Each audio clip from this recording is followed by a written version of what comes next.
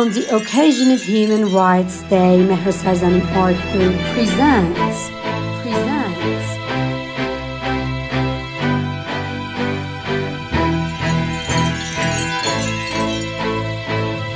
Beautiful ribbon dance by Roxana Sadeqi.